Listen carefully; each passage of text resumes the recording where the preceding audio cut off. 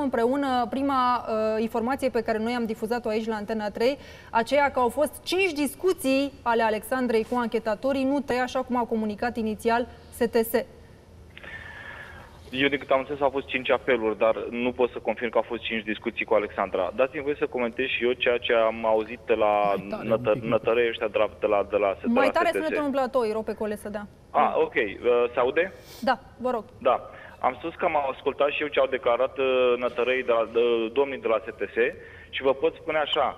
Păi oamenii ăștia au tupeul să dea vina pe blocarea acelei achiziții publice pentru a- upgradarea softului în condițiile în care a existat deja un câștigător o firmă, nu mai știu, americană, cred, iar uh, la Sibiu, la Summit, domnul Macron a convins uh, pe cine trebuie ca să dea locul 2, să, să câștige cel de pe locul 2 o firmă franceză? Adică cu cât tupeu și cu câtă nesimțire vin ăștia în fața noastră să ne spună nouă lucrurile astea. Dacă s-au blocat aceste lucruri, s-au blocat pentru niște interese financiare la nivel foarte mare și între state. Adică să nu, să nu țină mie lecții de, de blocare de achiziție când ei au declarat câștigătoare o firmă de pe locul 2. Asta este, mă rog, asta este ca, ca să lămurim lucrul ăsta. În al doilea rând, da, avea dreptate cine spunea în studio cu privire la, la rețeaua GSM. Păi dacă tu uh, în România nu reușești să faci lucrul ăsta, dar în alte țări unde uh, sistemul este la pământ, cum poți să faci uh, acea localizare? În al treilea rând, eu, de exemplu, astăzi, acum, în acest moment, am transmis serviciul de telecomunicații speciale solicitare în numele familiei pentru a, pentru a transmite aceste, toate acele convorbiri pe care uh, Alexandra le-a, le-a, le-a avut cu operatorii de la 112. Vreau și eu să, vă, să văd și o să vă țin la curent în cât timp aceștia vă- îmi vor transmite aceste, sau ce îmi vor, răsp- ce îmi vor răspunde și în cât timp vă vor transmite, deci, având dreptul la ele, aceste înregistrări. Și acolo vom vedea exact ce s-a întâmplat. Adică nu-și asumă absolut nicio vină, nici măcar faptul că n-au anunțat ambulanța când era o agresiune sexuală în, uh, uh, în desfășurare și este pe protocolul lor obligatoriu ca operatorul să facă asta. Nu-și asumă că Nemer Nicola de, de operator sau ce este de la, de la poliția Olt uh, a trimis-o la plimbare pe fată și și-a, și-a, nici măcar n-a consiliat-o. Nu-și asumă poliția faptul că de ceilalți doi operatori, în- uh, după ce au intrat în uh, legătură cu ea prima dată, trimițând-o la plimbare, uh, nu au consiliat-o, spunând, să, să, uh, încercând să explice că e suficient că a sunat odată să închidă telefonul și să nu mai sune deloc, pentru că asta însemna că o prinde criminalul. Deja semnalul era deja la, uh, dat, adică n-a- nu e- n-a- n-a- n-au aplicat funcția de consiliere uh, în astfel de situații. Cât de, cât de ticăloși pot să fie oamenii ăștia, cu câtă, li- cu câtă lejeritate vin să vorbească despre aceste lucruri când este, este evident și știm și noi că, uh, câte, câtă, cât trafic de influență vor mai face printre cu prietenii și colegii mei, ca eu să nu mai dau un domnul Vasilcă în STS, cât, la câte dintre organizațiile membre CNMR vor mai cere uh, să, să iasă din coaliție sau să facă cumva să mă oprească. Sunt niște ticăloși, doamnă, sunt niște nemernici pur și simplu. Acești oameni s-au învățat cu, cu protejarea de către de, președinții statului, de către prim-ministrii Stați statului, de puțin, cine Ole eu știu de Cumpănaș, cine. și spun, spuneți că se fac presiuni asupra dumneavoastră să încetați cu aceste Da, declarații se fac publice. presiune asupra mea și asupra colegilor mei din CNMR. Cine face presiuni? Păi diverse, diverse persoane din aceste structuri. O să depun plângeri la parchet, o să aflu și eu. Cine și o să depun plângeri la parchet?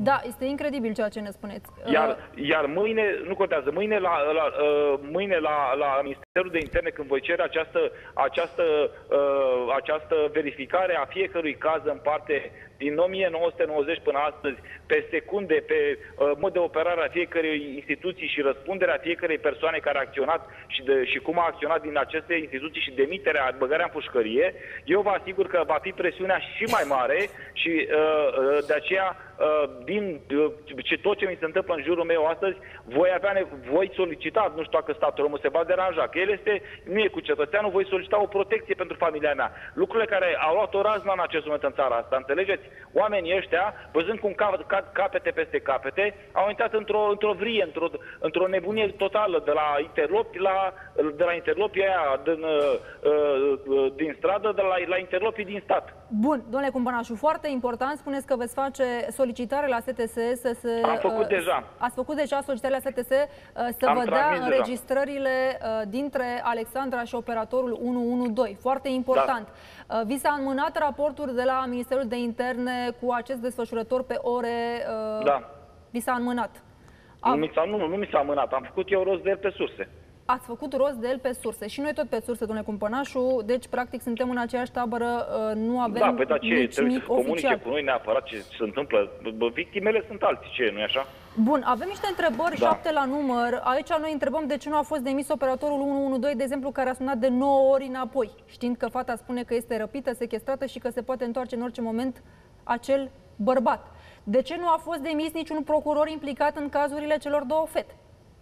De ce nu se întrunește secția de procurori din cadrul Consiliului Superior al E, bună Magistraturii? întrebare, abia a treia este cea mai bună întrebare, pentru că de, procurorii nu pot fi demiși, ei trebuie cercetați și scoți din magistratură, iar singură, singura uh, instituție care poate să facă asta este Inspecția Judiciară și secția de procurori din CSM, care tace mâlc și lasă niște organizații de-astea bezmetice de procurori să, să apere tot felul de, de golan ca ăsta. Bun, de, uh, ce s-a întâmplat cu ancheta procurorilor de ICOT din cazul dispariției Luizei? Nu știm. De S-a ce nu sunt întâmplat făcute... zero, s-a, s-a întâmplat zero, i-au chemat să vadă dacă, nu- dacă nu cumva mint.